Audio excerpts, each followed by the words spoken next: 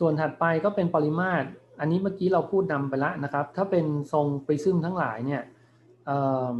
ถ้าเป็นปริมาตรนะ ถ้าเป็นปริมาตรนะ ก็คือการคำนวณพื้นที่หน้าตัดใช่ไหมคำนวณพื้นที่หน้าตัดให้ได้ แล้วก็คูณความยาวหรือคูณความสูงเนี่ยเดี๋ยวมันก็จะกลายเป็นปริมาตรไปแล้วนะครับถ้าใครเขียน AutoCAD เป็นน่ะเวลาเราเขียนรูปสามมิติอะเราก็จะต้องเริ่มเขียนแบบนี้ถูกไหมครับ ก็คือเราก็ต้องเขียน รูปร่างของพื้นที่หน้าตัดก่อน เสร็จแล้วก็ยืดมันออกไปใช่ไหมครับ ยืดมันออกไปเพื่อให้เป็นรูปทรงใช่ไหมเราเราเข้าใจคำว่ารูปร่างกับรูปทรงนะถ้ารูปร่างมันก็จะเป็นสามมิติเออสองมิติใช่ไหมครับ แล้วรูปทรงก็จะเป็นสามมิติ ในใน AutoCAD ก็คือถ้าเราจะวาดรูปสามมิติ เราก็จะต้องวาดหน้าตัดก่อนใช่ไหมครับ แล้วเราก็ใช้คำสั่งนี้ใช่ไหม ช้คำสั่ง extrude ใช่ไหมครับ extrude ก็คือการยืดนะครับออกไปนะครับก็นี่แหละหลักการเดียวกันเนี่ยพื้นที่ฐานคูณสูงนะครับ แต่ถ้าคำนวณพื้นที่ผิวข้างก็เอาตาดูเอาเองเลยครับ อย่างถ้ามีฝาปิดสองข้างเราก็ต้องคำนวณพื้นที่หน้าตัดสองข้างใช่ไหม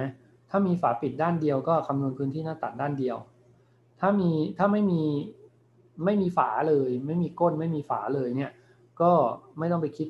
พื้นที่ผิวตรงพื้นที่หน้าตัดใช่ไหมครับ ส่วนพื้นที่ผิวข้างนี่มันก็เป็นสี่เหลี่ยมผืนผ้าธรรมดาก็ตรงไปตรงมานะครับ อันนี้ก็ไม่มีอะไร อันที่จะเริ่มต้อง จะเรียกว่าจำมันก็ไม่เชิงอะเพราะมันจำได้มาตั้งแต่เด็กกันแล้วอยู่แล้วใช่ไหม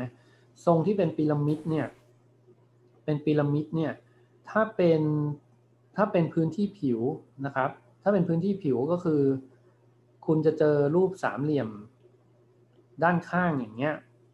แล้วแต่ว่ามันเป็นพีระมิดกี่เหลี่ยมใช่ไหมครับ มันก็จะมีสามเหลี่ยมอยู่สามเหลี่ยมผิวข้างเท่านั้นรูปนะครับ ซึ่งก็หาไปนะครับ ว่าฐานตรงนี้กว้างเท่าไหร่ใช่ไหมแล้วก็สูงเอียงอะเท่าไหร่นะครับ แล้วก็มันก็จะคำนวณพื้นที่ของสามเหลี่ยมด้านข้างอันนี้ได้นะครับ มีกี่อันก็คำนวณแล้วก็บวกกันไปให้หมด แล้วก็ด้านล่างก็แล้วแต่ว่าพื้นที่หน้าตัดเป็นอะไรนะครับ ก็คำนวณตามพื้นที่หน้าตัดอันนั้นโอเคไหมส่วน ปริมาตรปริมาตรมันก็มีหลักปริมาตรของพีระมิดก็มีหลักการจำก็คือ เป็นหนึ่งส่วนสามของปริมาตรรูปทรงเต็มใช่ปะถูกไหมครับ เช่น ถ้าเป็นทรงกระบอกใช่ไหมถ้าเป็นทรงกระบอกอย่างเงี้ย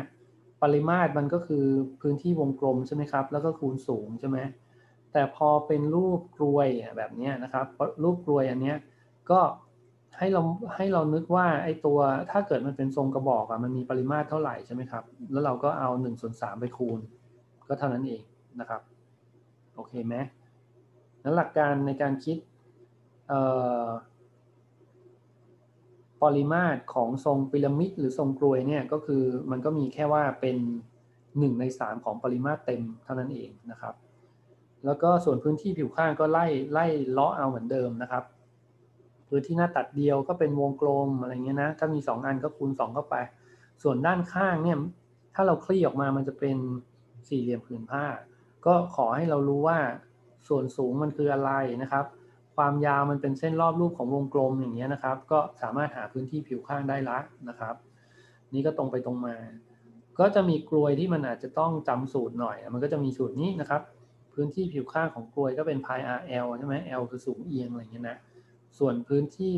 ที่ปิดฝาด้านล่างก็จะเป็นวงกลมก็ก็ตรงไปตรงมานะครับ โอเคไหมครับ แล้วก็อีกอันหนึ่งทรงกลมอ่าถ้าปริมาตรนี่เรารู้อยู่แล้วคือ4ส่วน3พาย r กำลัง3ใช่ไหมครับ แต่ว่าพื้นที่พื้นที่ผิวของลูกลูกทรงกลมอันนี้ก็ เวลาผมจำผมก็จำว่ามันเป็นสี่เท่าของพื้นที่วงกลมอะไรเงี้ยนะครับ ก็เป็นสี่แล้วก็พาย r กำลังสองอะไรนี้นะ โอเคไหม